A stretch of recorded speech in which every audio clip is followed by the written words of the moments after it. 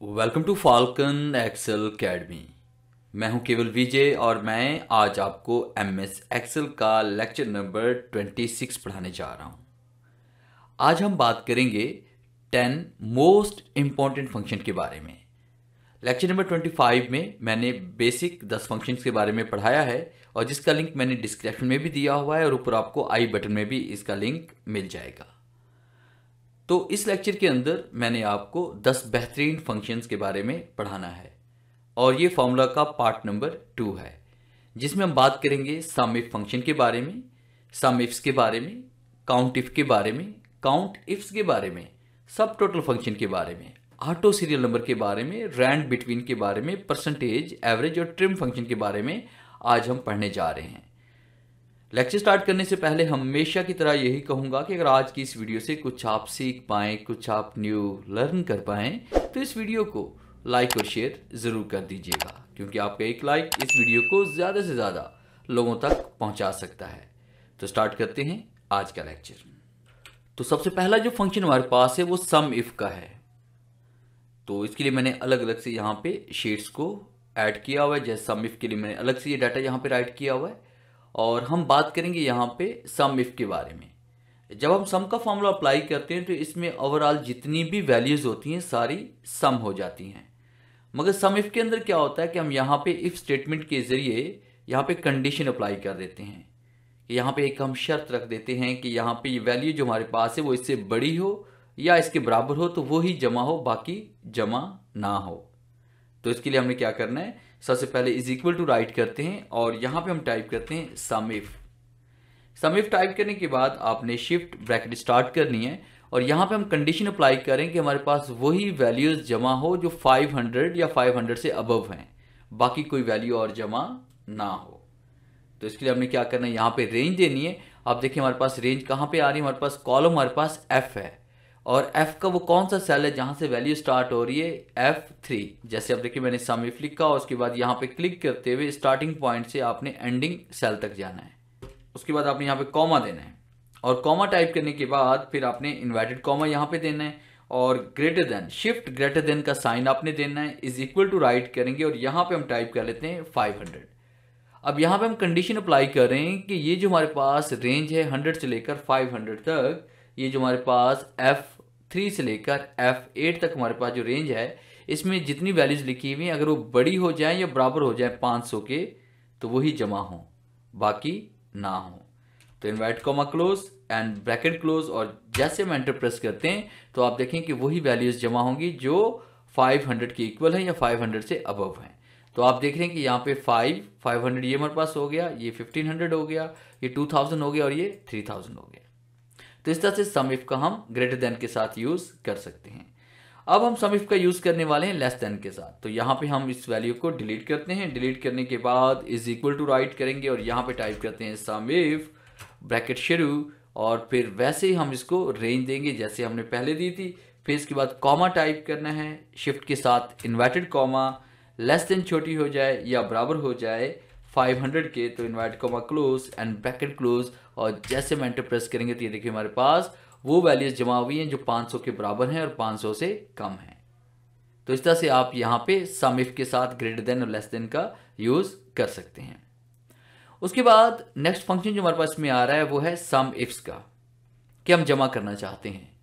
कि आपके पास बहुत सारे आइटम्स हैं, बहुत सारी एंट्रीज हैं और उसके बाद बार बार वो एंट्रीज हो रही हैं? जैसे आपके पास कोई प्रोडक्ट हो सकती है, कोई आपके पास मेंबर्स हैं, जो उसके बाद महीने में कई बार आपको पेमेंट सबमिट करवा चुके हैं, और हम चाहते हैं कि किसी एक नाम का, यानी आपके पास 500 नाम है 200 नाम है बहुत सारे नाम आपके पास हैं, उनमें से किसी एक आइटम का या किसी एक नेम का हम टोटल मालूम करना चाहते हैं। तो उसके लिए हम सम इस फ़ंक्शन का यूज़ करते हैं। तो कैसे हमने यूज़ करना है? हम यहाँ पे टोटल में क्लिक करते हैं, और इस तरह से आपने डाटा राइट कर लेना है, और फिर हम टाइप करेंगे is equal to and sum ifs पहले हमने सम इफ़ पढ़ा था, फिर इसके बाद अब हम सम इफ्स के बारे में बात करनी है। ब्रैकेट स्टार्ट करते हैं, फिर इसके बाद आपने सम रेंज देनी है यहाँ पे, कि आप किस वैल्यू को जमा करना चाहते हैं, ये हमारे पास वैल्यूज़ हैं जिनको हम सम करना चाहते हैं। फिर उसके बाद आपने यहाँ पे कॉमा देना है।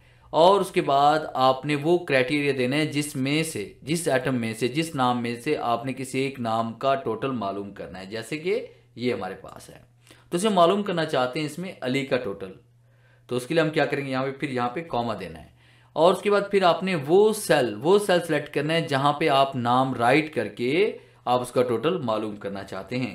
जैसे कि ये नेम वाला सेल और उसके बाद आप ब्रैकेट क्लोज करेंगे और जैसे हम एंटर प्रेस करेंगे तो ये देखिए यहाँ पे ज़ीरो जवाब आ रहा है। ज़ीरो इसलिए आ रहा है क्योंकि यहाँ पे कोई नाम नहीं लिखा हुआ। अब हमने अली का टोटल मालूम करना है तो हम यहाँ पे क्लिक करते हैं। इसका रेफरेंस हम दे चुके हैं। जैसे अली टाइप करके हम एंटर प्रेस करेंगे तो आप देखिए यहाँ पे 600 आपके पास जवाब आ चुका है। तो आप देख सकते हैं कि यहाँ पे अली हमारे पास, ये देखिए 100 और उसके बाद अली के साथ, ये देखिए, हमारे पास 500 ये ऐड किया तो ये हो गया टोटल 600 अगर हम यहाँ मालूम करना चाहते हैं अनिल का तो हम यहाँ पे अनिल टाइप करते हैं और एंटर प्रेस करते हैं इसमें फिफ्टीन इसमें आ रहा है। तो आप देखिए अनिल का फाइव ये और उसके बाद वन ये। तो इस तरह से आप यहाँ पे किसी भी एक एटम का टोटल मालूम कर सकते हैं नेम या एटम के साथ। उसके बाद नेक्स्ट फ़ंक्शन हम पढ़ने जा रहे हैं काउंट इफ़ कि हम गिनना चाहते हैं? हम काउंट करना चाहते हैं। तो उसके लिए हमें क्या करना है कि यहाँ पे हमने इस इक्वल टू राइट करते हैं, उसके बाद यहाँ फ़ंक्शन टाइप करते हैं count if count if type करने के बाद ब्रैकेट स्टार्ट करेंगे। अब यहाँ पे हम मालूम करना चाहते हैं कि हमारे पास इस कॉलम के अंदर 500 या उससे अबव कितनी वैल्यूज़ लिखी हुई हैं। 500 से अबव वाली वैल्यूज़ को हम यहाँ पे काउंट करना चाहते हैं या 500 इक्वल टू और से अबव हम करना चाहते हैं। तो आपने क्या करना है? यहाँ पे तमाम उन वैल्यूज़ को आपने यहाँ पे रेंज देनी है। फिर यहाँ पे कॉमा टाइप करेंगे इन्वर्ट कॉमा देंगे, फिर उसके बाद ग्रेटर देन बड़ी हो या बराबर हो जाए 500 के। Invert comma close and bracket close और उसके बाद जैसे हम एंटर प्रेस करेंगे, देखिए हमारे पास चार ऐसी वैल्यूज़ हैं जो 500 या 500 से अबव हैं। जैसे कि एक, दो, तीन और ये चार।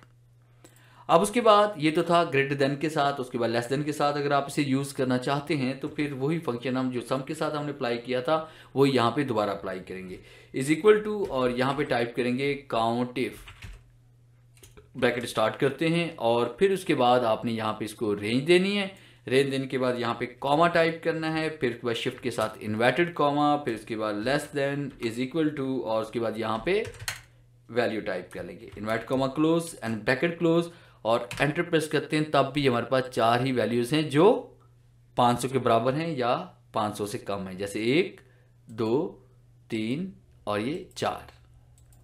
तो इस तरह से आप यहाँ पे काउंट इफ़ का यूज़ कर सकते हैं। और नेक्स्ट फ़ंक्शन जो हम पढ़ने जा रहे हैं, वो है count ifs count ifs function क्या काम करता है कि आपके पास दो कॉलम्स के अंदर डिफरेंट डाटा अगर राइट किया हुआ है तो उन दो दो कॉलम्स के अंदर किसी एक टाइटल का, किसी एक नेम को अगर हम सर्च करवाना चाहते हैं तो कितनी बार यहाँ पे ऐड हुआ है?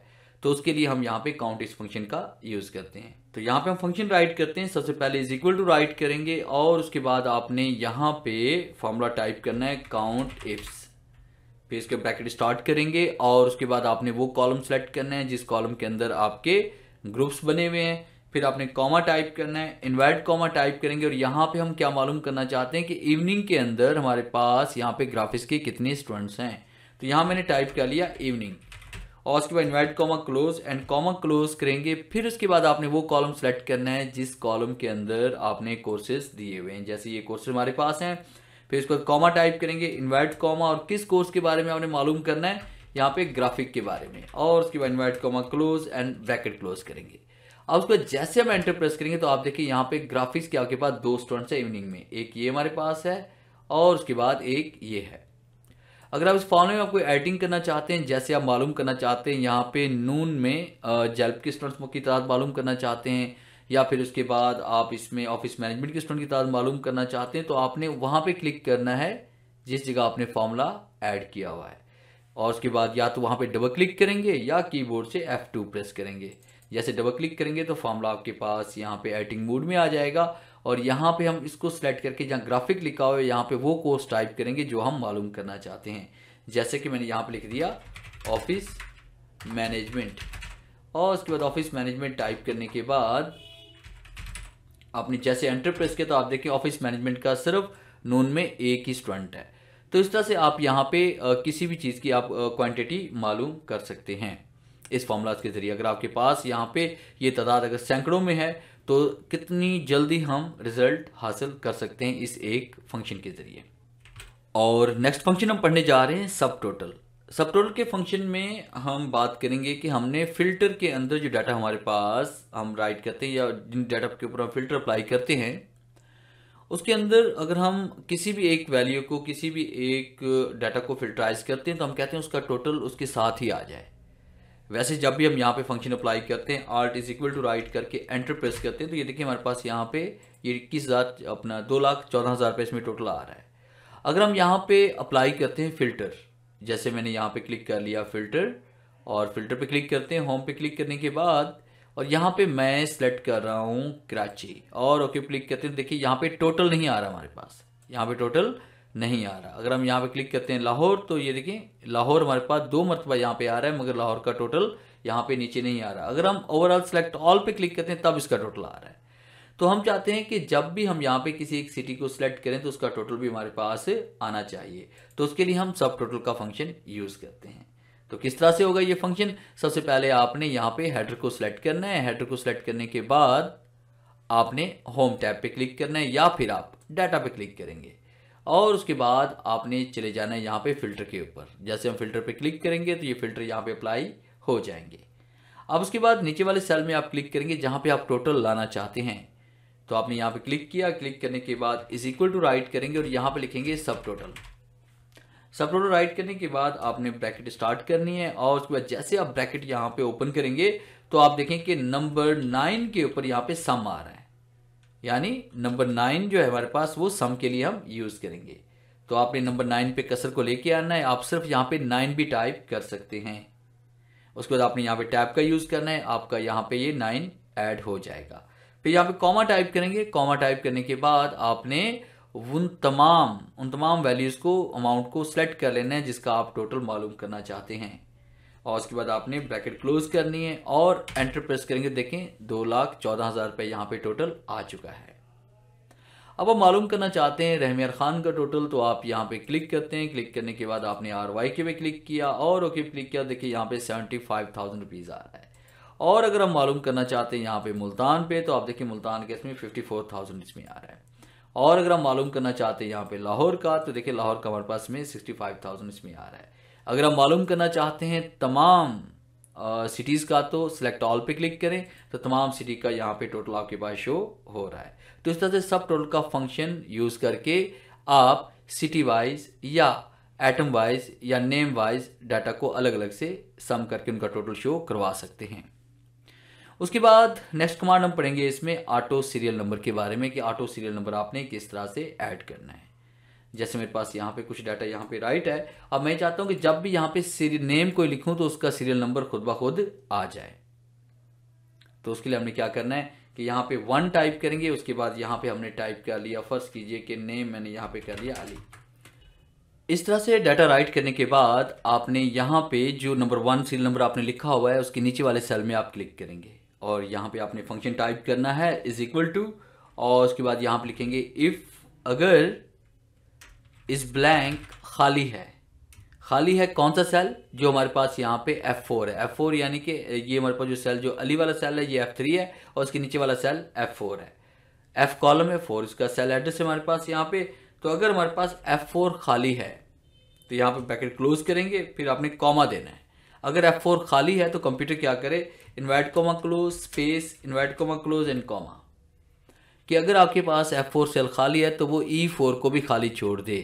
यानी अगर अली के नीचे वाले सेल के अंदर कोई डाटा नहीं लिखा हुआ तो वन के नीचे नीचे वाले सेल के अंदर भी कोई नंबर ऐड ना हो। अगर फ़र्ज़ कीजिए कि अली के नीचे वाले सेल के अंदर कोई नाम लिखा हुआ है तो यहाँ पे वो ए वन जो हमारे पास ई e, थ्री है ई e थ्री में प्लस कर दे वो वन को। यानी एक और एक कितने हो जाएँगे? दो। तो यहाँ पे सीरियल नंबर टू वो ऐड कर दे। तो इसके लिए हम क्या करेंगे यहाँ पे ई थ्री ई थ्री में क्या है वन लिखा हुआ है प्लस कर देंगे इसके वन के साथ और ब्रैकेट क्लोज करेंगे और एंटर प्रेस करेंगे देखिए यहाँ पे आपके पास कुछ भी नहीं लिखा तो इधर भी कुछ भी नहीं आ रहा तो यहाँ पे जैसे मैंने यहाँ पे टाइप कर लिया जहद और एंटर प्रेस किया तो यहाँ पे ऑटोमेटिक टू आ रहा है अब इसी फॉर्मूले को हम नीचे तक ड्रैग कर लेंगे ऐसे और उसके बाद हम यहाँ पे टाइप करते हैं जैसे मैंने ताहिर लिखा मैंने यहाँ पे अनिल लिखा मैंने यहाँ पे माजिद लिखा मैंने यहाँ पे मोहन लिखा मैंने यहाँ पे राशन लिखा तो आप देखें यहाँ पे ऑटोमेटिक नंबर इसमें अप्लाई हो रहा है। तो ये था ऑटो सीरियल नंबर अप्लाई करने का तरीकाकार। और नेक्स्ट फ़ंक्शन हम पढ़ने जा रहे हैं इसमें रैंड बिटवीन के बारे में, कि रैंड बिटवीन का फॉर्मूला हम किस तरह से यूज़ कर सकते हैं। जैसे कि आपके पास यहाँ पे ये शीट मैंने क्रिएट की हुई है, एक रिज़ल्ट कार्ड टाइप है। हम चाहते हैं कि ये हमारे पास स्टूडेंट्स हैं और ये इनके सब्जेक्ट्स हैं। तमाम स्टूडेंट्स को हम पास करना चाहते हैं और तमाम स्टूडेंट्स के नंबर जो है वो 40 और 80 के दरमियान आने चाहिए। किसी स्टूडेंट्स के नंबर 40 से कम नहीं होने चाहिए और किसी के स्टूडेंट के नंबर 80 से अबव नहीं होने चाहिए। तो इसके लिए हमने क्या करना है कि हम उन तमाम सेल्स को सिलेक्ट करेंगे जिन सेल्स के अंदर हम मार्क्स ऐड करवाना चाहते हैं। तो आपने सबसे पहले इस तरह से सेल को सिलेक्ट करना है तमाम सेल्स को। याद रखिएगा, तमाम सेल को पहले सेलेक्ट करना है, फिर उसके बाद इज़ इक्वल टू राइट करना है और यहाँ पे टाइप करेंगे रैंड बिटवीन और उसके बाद ब्रैकेट स्टार्ट करेंगे। यहाँ पे आपने वैल्यू टाइप करनी है। जैसे तमाम स्टूडेंट्स को मार्क्स देना चाहते हैं फोर्टी कॉमा एटी हो सकता है नाइन्टी हो सकता है सेवेंटी हो सकता है, आप इसमें कुछ भी ऐड कर सकते हैं। तो फोर्टी एटी मैंने कर लिया ब्रैकेट क्लोज करेंगे और उसके बाद कंट्रोल के साथ कंट्रोल के साथ जैसे आप एंटर प्रेस करेंगे तो आप देखेंगे कि उन तमाम सेल्स के अंदर नंबर्स ऐड हो चुके हैं। किसी भी स्टूडेंट्स के नंबर 40 से कम नहीं है और किसी के 80 से अबव नहीं है। तो इस तरह से आप यहाँ पे नंबर जनरेट कर सकते हैं किसी दो वैल्यूज़ के दरमियान। उसके बाद नेक्स्ट फ़ंक्शन में हम बात करेंगे इसमें परसेंटेज के बारे में कि परसेंटेज आपने किस तरह से मालूम करनी है। तो इसके लिए मैंने अलग से एक शीट यहाँ पे डिज़ाइन की हुई है। जैसे कि यहाँ पे आपको नज़र आ रहा है कि डाटा मैंने सारा यहाँ पे राइट किया हुआ है। अब उससे पहले हमने क्या करना है? यहाँ ऑप्टेन मार्क्स यहाँ पे ऐड कर लेते हैं। ऑप्टेन मार्क्स ऐड करने के लिए इन तमाम सेल को आप सेलेक्ट कर लें और उसके बाद होम पे क्लिक करें और ऑटो सम पे क्लिक करें। और जैसे हम ऑटो सम पे क्लिक करेंगे तो इन सब के ये ऑप्टेन मार्क्स हमारे सामने आ जाएँगे। अब परसेंटेज मालूम करने के लिए क्या करना है? आपने इज़ इक्वल टू राइट करते हैं। और उसके बाद यहाँ पे ऑप्टेन मार्क्स पे क्लिक करना है। ऑप्टेन मार्क्स को मल्टीप्लाई करेंगे हंड्रेड के साथ और डिवाइड कर लेंगे हम इसे टोटल मार्क्स के साथ। जैसे टोटल मार्क्स हमारे पास इसमें आ रहे हैं, फ़र्ज़ कीजिए कि सिक्स हंड्रेड मैंने कर दिए और उसके बाद जैसे हम एंटर प्रेस करेंगे तो ये देखिए हमारे पास यहाँ पे परसेंटेज आ चुकी है। यहाँ पे क्लिक करते हैं क्लिक करने के बाद जैसे इसको ड्रैग करेंगे तो देखिए नीचे तक तमाम स्टूडेंट्स की परसेंटेज यहाँ पे ऐड हो चुकी है। तो इस तरह से आप परसेंटेज का फ़ंक्शन भी यूज़ कर सकते हैं। और नेक्स्ट फ़ंक्शन हम बात करेंगे इसमें एवरेज के बारे में। फॉर्मूला नंबर नाइन में हम बात करेंगे एवरेज के एवरेज आपने किस तरह से मालूम करनी है। जैसे मेरे पास यहाँ पे डेट्स हैं, उसके बाद मैंने यहाँ पे सामने अमाउंट टाइप की हुई है कि ये हमारे पास डेट है, इस डेट को इतनी अर्निंग हुई, इस डेट को इतनी हुई, इसको इतनी हुई हमारे पास, और यहाँ पे टोटल ये तुम्हारे पास एक हफ़्ते का रिकॉर्ड है। तो हम ये मालूम करना चाहते हैं कि पर डे पर डे की यहाँ पे हम यहाँ पे एवरेज मालूम करना चाहते हैं कि अगर टोटल मालूम करना चाहते हैं, वो तो हम होम पे क्लिक करके यहाँ पे ऑटो सम करके एंटर प्रेस कर सकते हैं कि थर्टी एट हंड्रेड इन्होंने छः दिन के अंदर अर्न किए हैं। अब मालूम करना चाहते हैं कि पर डे की अर्निंग कितनी होगी। एवरेज मालूम करना चाहते हैं। तो इसके लिए हमें क्या करना है? यहाँ फॉर्मूला अप्लाई करेंगे इज़ इक्वल टू एंड यहाँ पर राइट करेंगे एवरेज ब्रैकेट स्टार्ट और उसके बाद आपने रेंज देनी है यानी F3 से लेकर F8 तक ब्रैकेट क्लोज करेंगे और एंटर प्रेस करेंगे करेंगे। तो आप देखिए यहाँ पे 633.33 हमारे पास पर डे की अर्निंग हुई। तो इस तरह से यहाँ पे पर डे की एवरेज भी आप मालूम कर सकते हैं। उसके बाद लास्ट फ़ंक्शन जो हमारे पास है वो ट्रिम का है कि आपने ट्रिम का फ़ंक्शन किस तरह से यूज़ करना है। जैसे कि मैंने यहाँ पे कुछ डाटा राइट किया हुआ है और इस डाटा के अंदर मैंने एक्स्ट्रा स्पेस जानबूझकर ऐड की हुई है। जैसे फाल्कन एक्सेल अकेडमी के दरमियान स्पेस बहुत ज़्यादा है माइक्रोसॉफ्ट ऑफ़िस के दरमियान स्पेस है फ्री ऑनलाइन क्लासेस के दरमियान स्पेस है। तो एक्स्ट्रा स्पेस को रिमूव करना चाहते हैं तो इसके लिए हम ट्रिम का फ़ंक्शन यूज़ करते हैं। आपने इज़ इक्वल टू राइट करना है और यहाँ पे टाइप करना है ट्रिम और उसके बाद ब्रैकेट स्टार्ट और उस सेल पे क्लिक करें, जिस सेल के अंदर स्पेस आपको ज़्यादा लग रही है वर्ड्स के दरमियान, फिर ब्रैकेट क्लोज करेंगे और एंटर प्रेस करेंगे तो आप देखिए यहाँ पे ये स्पेस रिमूव हो चुकी है। और उसके बाद जैसे हम इसको ड्रैग करेंगे यहाँ पे क्लिक करते हुए, जैसे ड्रैग करेंगे तो देखें तमाम लेटर्स के दरमियान, तमाम वर्ड्स के दरमियान जो एक्स्ट्रा स्पेस थी वो रिमूव हो चुकी है। इस तरह से चंद एक क्लिक की मदद से आप एक्स्ट्रा स्पेस को रिमूव कर सकते हैं। तो ये था मेरा आज का लेक्चर जिसमें मैंने आपको 10 इंपॉर्टेंट फ़ंक्शंस के बारे में पढ़ाया। उम्मीद है आज की इस लेक्चर में बहुत कुछ न्यूज़ सीखने को मिला होगा। वीडियो अच्छी लगी है तो इसे लाइक कीजिए और अपने दोस्तों के साथ शेयर कीजिए। मिलते हैं हम नेक्स्ट लेक्चर में, तब तक के लिए गुड बाय